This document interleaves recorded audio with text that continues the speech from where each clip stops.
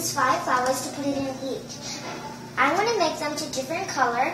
There's going to be red, yellow, green, blue, and one is just going to be like like plain water, so I can see what happens to that and the difference of these. Start. I'm going to put these five flowers in all of these five cups. But uh, this one, one red, yellow, blue, and this one's going to, I'm going to put the green food coloring into this one. And this one's just going to be plain white water. Ten drops. One, two, three, four, two, five, five, six, seven, seven, eight, nine, ten. Okay. Ito, may suway. Suway. Ito.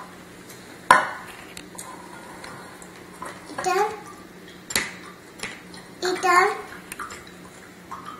I put one of my flowers in each of my five glasses, and then I put red, yellow, blue, green, and white. So I'm going to see what happens in the next few hours. See what what if anything happens to the flowers. One week ago, th this is what I did for my experiment.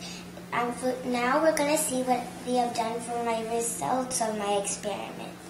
As you see, for the red flower, the the white flower in the red water has changed really nicely. See, it's like very red. The blue has just a little less, but you can still see it. The yellow not so much, but you can kind of see it on the sides. And the green is like nicely, it's good, like just like that one. It's nice everywhere, you can see it perfect.